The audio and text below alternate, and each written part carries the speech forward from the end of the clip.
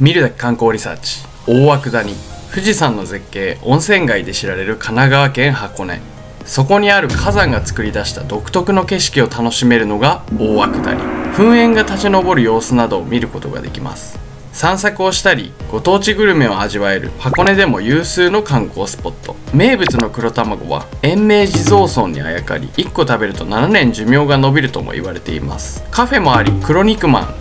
黒カレーパンなど黒にちなんだグルメを楽しめます。お土産屋もあるので黒にちなんだお土産を買って帰るのもいいかもしれません。大涌谷には109台止められる駐車場がありますが週末は大渋滞。バスも渋滞に巻き込まれてまともに進みません。基本おすすめはロープウェイですが強風で動かない日があるので最新の情報は箱根ロープウェイの公式ホームページなどをご覧ください。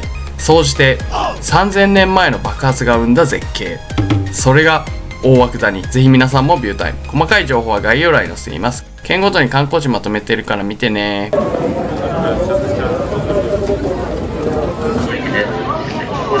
んかタイミング良かったね。